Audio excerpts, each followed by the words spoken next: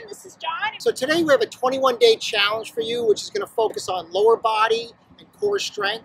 Now, this challenge is not only good for the runners we coach and the upcoming races they have this fall, it's good for just about anybody to increase that core lower body strength. In our 21 day challenge, we have six exercises. Each exercise, we want you to do 50 reps for a total of 300 reps. We have three lower body exercises, three core exercises, and we're going to finish with a one minute plank. So our first exercise is a basic squat. So Lori's going to have her feet about shoulder width apart. She's going to squat down. And what she's going to make sure is that there's a curve in her lumbar or lower back. She's going to make sure her chest is out and that her head is facing up. So she has some curve in her neck. But also you want to keep that body out and that arch in your back. This strengthens the quads and the glutes. Our next exercise is a reverse lunge. A reverse lunge is really good for kind of preserving your knees. Sometimes a forward lunge is a little tougher on it, but she's going to step back. She's going to drop her knee all the way to the ground. This strengthens not only the quads, but it also stretches the hip flexors and it stretches the hamstrings.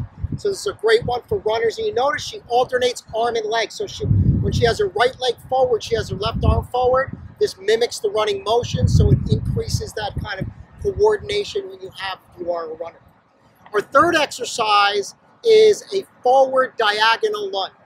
Okay, I like this one. You'll notice when she bends down, her knees at 90 degrees, but she does a little torque to the opposite side. And what this does is it kind of stretches and strengthens these internal rotators of the hip on the inside here.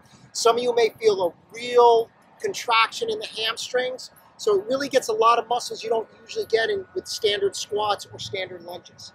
Our fourth exercise is on the ground. This is where we get into the middle of the body, a little more core. It's a knee tuck. She's going to have her hands under her glutes. She's going to have her upper body up and her knees towards her chest. And then she's going to extend out. So she's going to drop back and extend the legs. This works the abdominal region, but it also, when she goes out, it puts a good hard stretch also strengthening those hip flexors, which are really important for you runners, especially if you're running a marathon or half marathon coming up. Those hip flexors will start to fail as we fatigue. We got to strengthen them other ways than running. Our fifth exercise is a back extension. This is my favorite. Remember, when you run, you know, it's not all about the lower body and the legs. It's about good posture so we can expand this rib cage and breathe. So you'll see when she goes, she's doing a rowing motion okay? What this is extending and it's contracting those shoulder blades in the back. It's going to give you that good upright posture. Now she can also do a variation. If 50 seems hard for you, she can put her hands out in front of you. And what happens is she extends. Again, it's going to strengthen that low back and that upper back. And it's a great way to work the back of the neck too. Not many ways to work the back of the neck. So this one's great. And our last one is a side plank dip.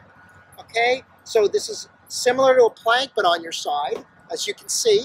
Uh, but really what happens is the, the real work is done as she goes up. It's the lower part of the body that contracts. So for everybody, but also runners especially, it really strengthens the muscles on the side of the body here. People have heard of IT band syndrome. This is one that can help prevent that, that issue. And then our final exercise here is a forearm or elbow plank. She's holding it. She's on her toes and her forearms. If you want, you could drop to your knees. But what we'd rather see you do is let's hold the regular elbow plank like this. And if you can't hold it for a minute, maybe do 10 to 20 to 30 second intervals and take a break. But this will really create that real powerful core strength in the midsection of the body, which really is important when uh, we run these races. So we, we, we want you to do this. So we want you to do this for 21 Do you want, wait, do you or don't? I do. Okay, let's get it straight. You don't want to confuse me. Okay. we want you to do this challenge for 21 days, six exercises, 50 reps each for a total of 300 reps. Let us know how you did. Have fun.